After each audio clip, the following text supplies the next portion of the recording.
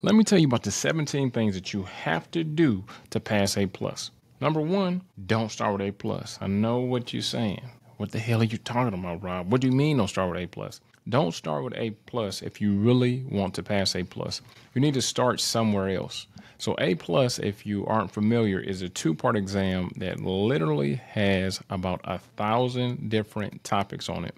That's not just uh, me trying to scare you. That's not just me coming up with something. It's literally a thousand in between both exams. It's a thousand different topics that are covered on those two exams. So what I found with my students, my guys, my girls, is if you start with ITF Plus, start with the IT fundamentals, the fundamentals of IT, it makes those more complex topics that are covered on A plus that much easier. So number one, don't start with A plus, start ITF. Number two is know exactly what is on the exam. You can actually download the exam objectives directly from CompTIA for absolutely free. It's going to tell you all of the things that are on the A plus.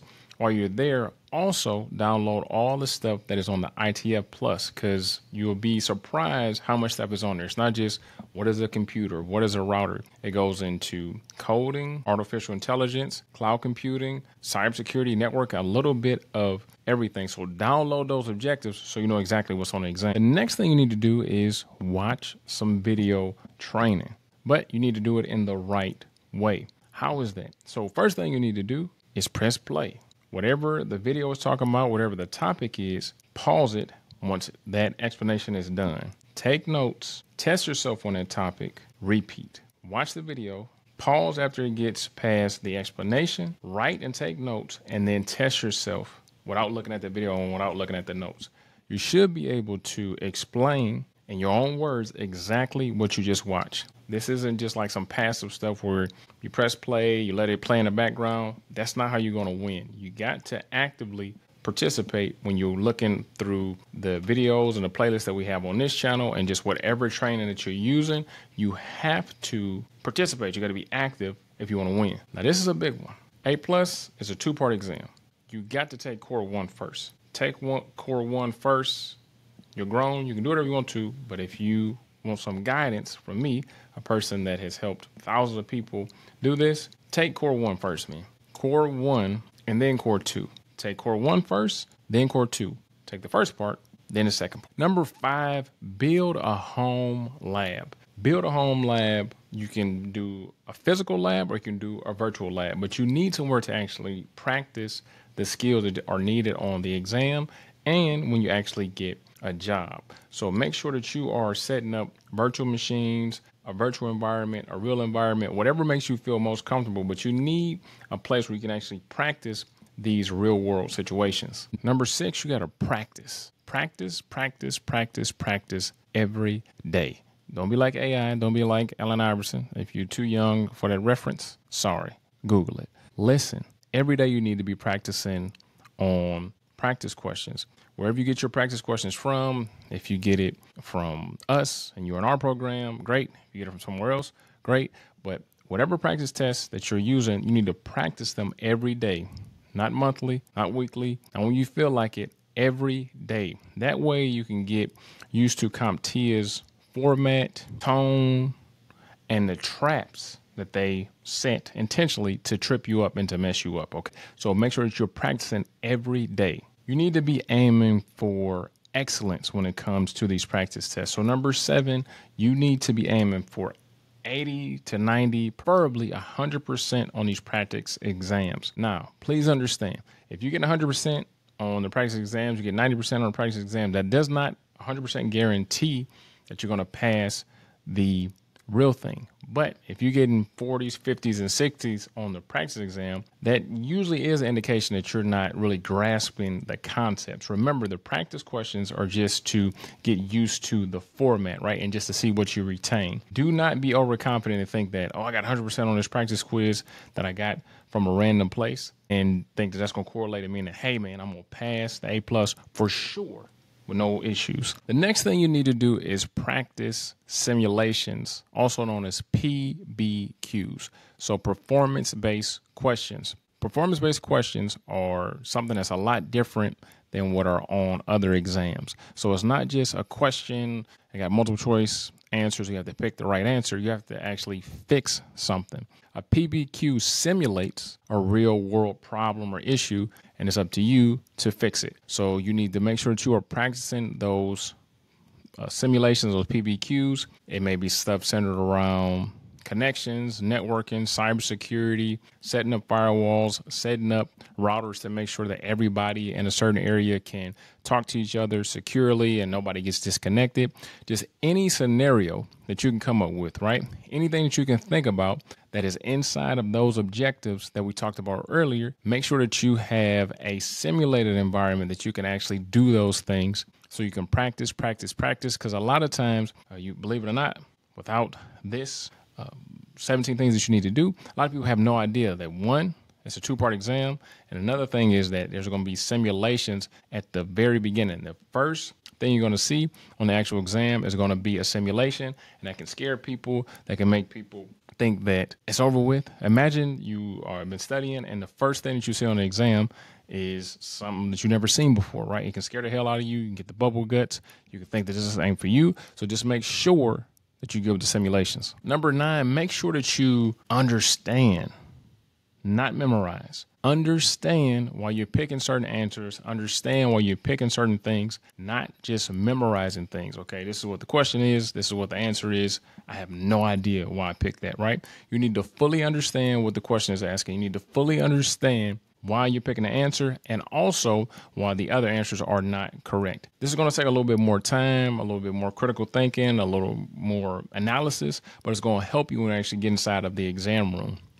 So, my guys and my girls um, that are in uh, our programs and our training, we shoot for 60 seconds. You need to be able to analyze the question and pick the correct answer in 60 seconds or less because on the A plus, you don't have that much time. You got a maximum of 90 questions you only got 90 minutes to answer those questions. Okay. Now, number 10, even though I said don't memorize, there's still some memory, right? You got to recall stuff. And I think a really good way to do that and a focus that you need to use your memory with is acronyms. So you can use flashcards to remember and memorize acronyms. That is one thing that you do need to memorize, right? So you need to memorize the acronyms because most of the questions on the exam are going to have a lot of acronyms. So it's going to be things that are not spelled out. And if you have no idea what the acronym stands for, it's going to make the question a thousand times harder than it really needs to be. So just make sure that you use flashcards to go through port numbers and acronyms. Those are two things that are uh,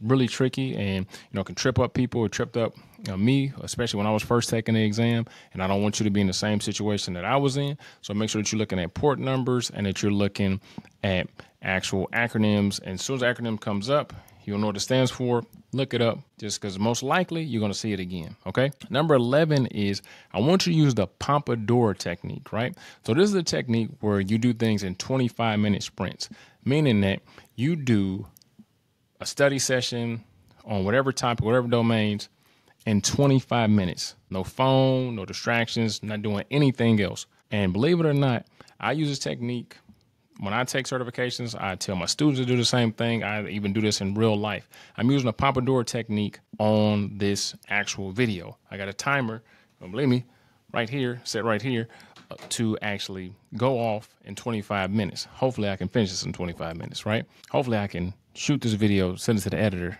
and then he sent it back in 25 minutes. But anyway, 25 minutes, right? So you go 25 minutes, go super hard, no distractions, and it's gonna blow your mind how much you can actually accomplish in 25 minutes. Take a five minute break, come back 25 minutes. Five minute breaks, come back 25 minutes. Try it out. Number 12, review your weak areas weekly.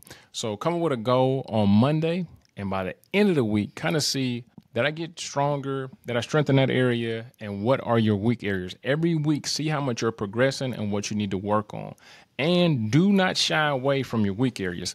That actually needs to be your central focus. Uh, a lot of students, uh, even me, a lot of times, I would stray away from things that I did not like, from things that gave me the bubble guts, from things that just made me feel uncomfortable. But focusing on those things that are uncomfortable outside of the exam room are going to make you so much comfortable inside the exam room. Number 13 is a big one.